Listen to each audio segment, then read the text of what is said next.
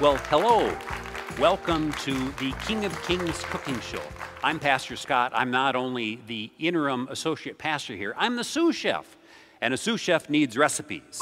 And what we have are three recipes that we're going to make on our cooking show. And in order to make sure that we've got the correct recipes, um, we're going to use our waffle making machine recipe corrector. Now, why would we do that? Because this is a wandering away from the truth waffle making corrector of recipes. You probably remember from the scripture reading that uh, we are not supposed to wander away from the truth, the truth of God's love, the truth of community that we experience. And so we are going to use these recipes in this recipe corrector and find out if maybe we're a little bit off with our recipes, and we'll see how that applies to real life. So the first recipe I have is called banana bread. And so what we're going to do is we're going to see how we can make banana bread. This recipe says we should add Brussels sprouts, smash them up, then go to the fireplace and grab some ashes from the fireplace, mix those in with the Brussels sprouts, and it's going to make great banana bread. So if we run that by our Wander Away from the Truth waffle maker recipe corrector, give it just enough time to correct if necessary. Maybe Brussels sprouts and ashes work great, but, and actually, we were wrong. You should actually use bananas. You should use bananas when you're making banana bread. Who knew? And you should use an egg. These are hard boiled, just in case I do drop them here on the altar. Uh, we know that there are all kinds of ways that you can make banana bread, but you probably should never use Brussels sprouts, never use ashes from the fireplace. Use an egg, uh, use a banana, and you're going to get some wonderful banana bread, which didn't get made by me, but did get made by some cooks over at Kowalski's.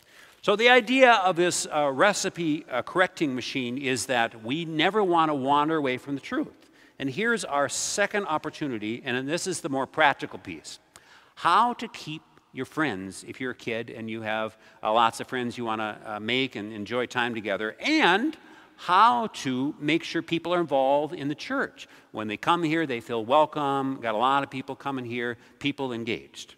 So it says here on this recipe maker if you're a kid, if you want to have a lot of friends, what you should do is you should always have the best toys, new toys. And when your friends come over, don't let your friends play with them.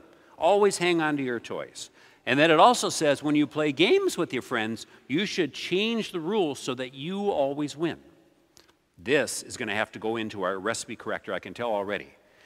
More pertinently, with uh, our church, we want lots of people involved in the church. And the recipe here says how to have a lot of people involved in the church.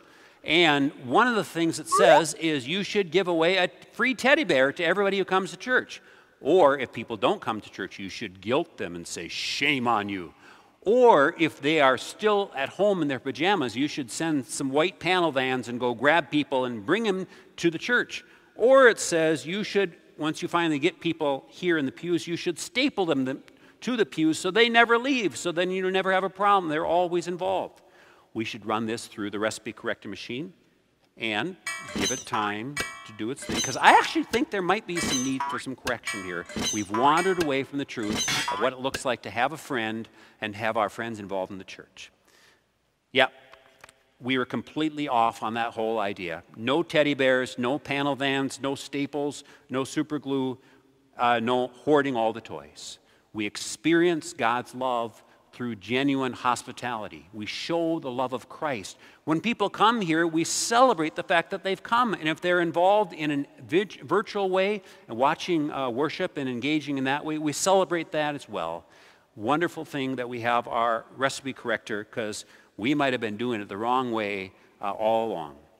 We have one more recipe, and this is an important one for me personally, and we're going to run it through the recipe corrector.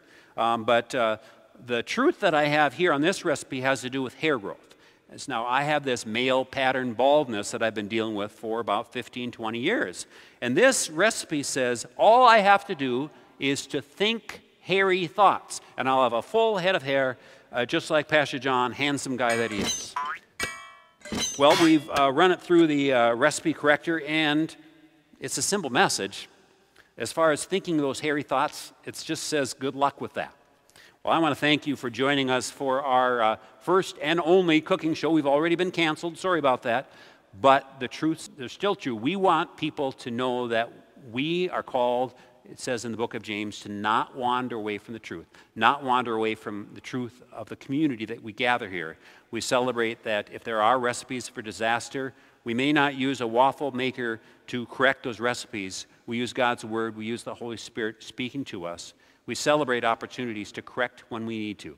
Thanks for joining us. Looking forward to more cooking, but you're going to have to do it on your own because we've been canceled. Sorry about that.